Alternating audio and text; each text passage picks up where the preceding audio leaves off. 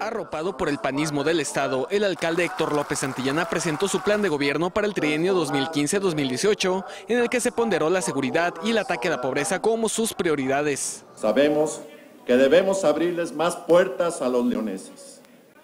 Sabemos que queremos vivir en un mejor León, en el León que todos soñamos.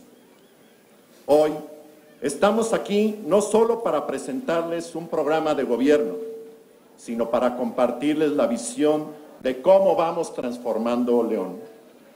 Y esta visión es integral. No se trata de presentar un listado de acciones sin sentido.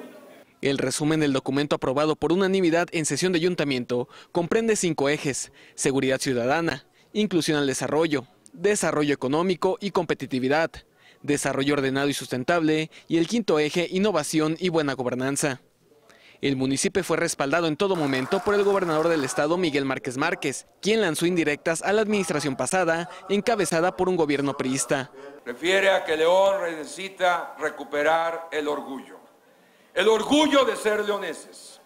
El orgullo de que pueda ser reconocido en cualquier otra entidad del país y fuera del mismo. El orgullo de representar a un municipio donde el trabajo todo vence el orgullo que lo da la honestidad. Y esto es importante que en este Palacio Municipal se recobre. La presentación del plan de gobierno se realizó en la plaza principal de León, en un evento público que no estuvo exento de manifestaciones de desaprobación y las consignas estuvieron enfocadas a los conflictos ejidales en Santana del Conde y la corrupción. Sí me dedico a decirle a los servidores públicos que hagan su trabajo, porque soy estudiante. Sí me dedico a cambiar a mi país. Sí me dedico a decirle la verdad a los funcionarios públicos. No, no estoy alebrestando, generando con la gente. Decirle la verdad a la gente, decirle la verdad a la gente es alebrestarla. Por eso, por eso, por eso, ¿por qué me estás, por qué me estás generando un problema? Ustedes generaron el problema cuando le quitaron las tierras a ellos.